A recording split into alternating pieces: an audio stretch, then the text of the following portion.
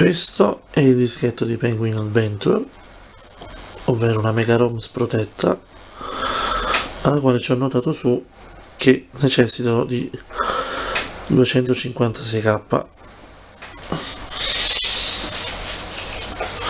inseriamo inserisco il dischetto. Accendiamo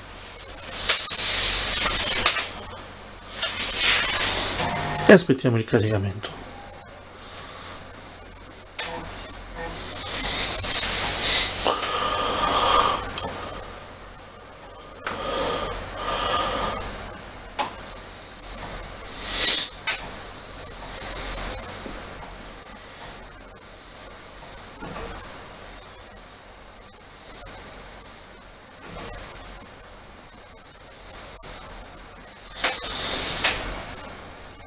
il caricamento rimane bloccato.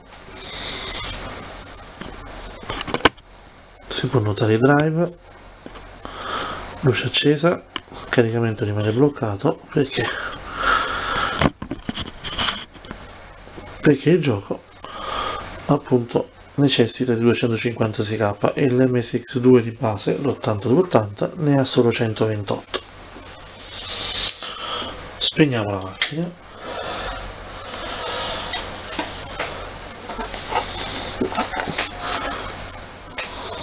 una vecchia memory mapper da 1 megabyte. La inseriamo. Riaccendiamo la macchina.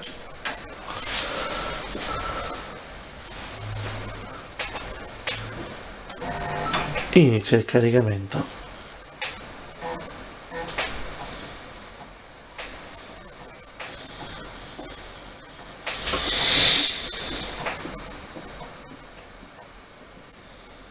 pochi istanti ancora.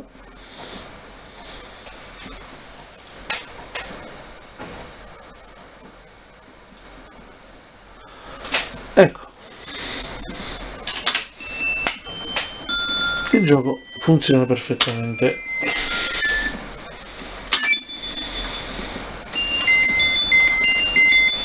Non ho impostato la 60 Hz giusto per comodità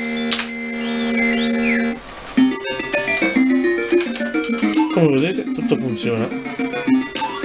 Il gioco è stato caricato interamente nella memory mapper di sistema.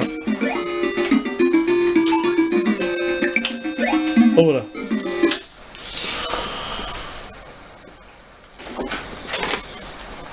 facciamo un'aggiunta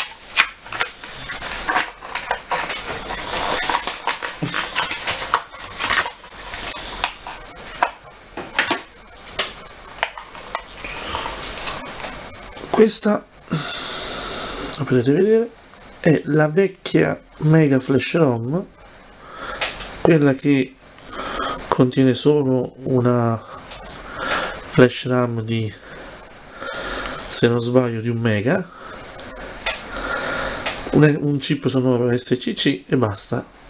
Questa è la vecchia cartuccia era legata al drive e io la inserisco adesso nel MSX insieme alla memory mapper. Questa non è non fa da espansione di memoria.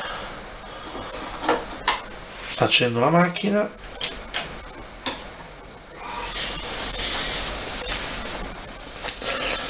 Per questa cartuccia avevo creato una multi-rom in modo da scegliere alcuni titoli principali ma in realtà lo sfrutto per passare ai 60 Hz come potete vedere.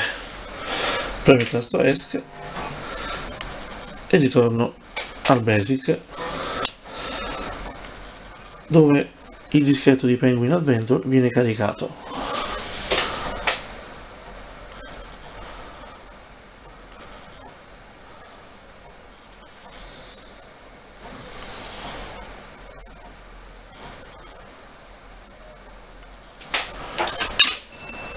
come vedete tutto ok.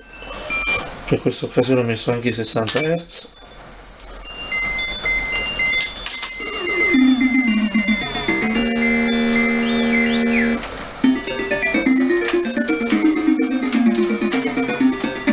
Il gioco funziona perfettamente è anche più veloce. Vabbè.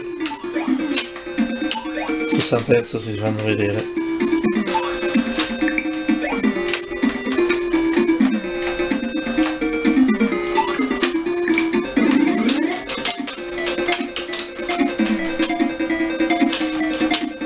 Ok, adesso rimuoviamo l'espansione di memoria, rimuoviamo la vecchia Mega Flash ROM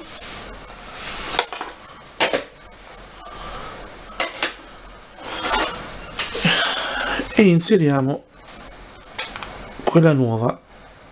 Come vedete c'ha anche il lettore SD non c'è molta luce ma penso che sia capito la inserisco nella slot 1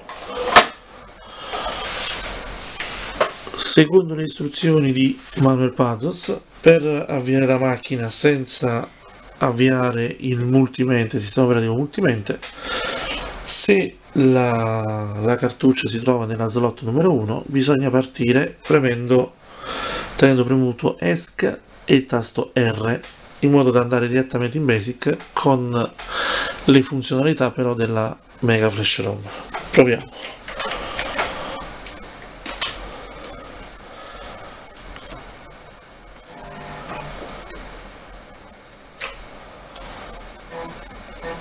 Siamo partiti direttamente dal basic il dischetto sta caricando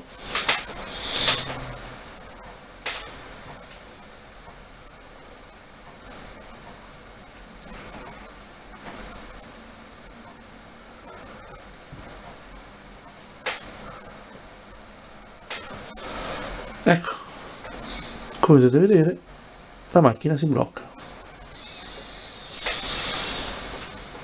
Questo è un problema che si dovrebbe comunicare a Pazos perché ci sono molti problemi che il firmware crea. Ok ragazzi alla prossima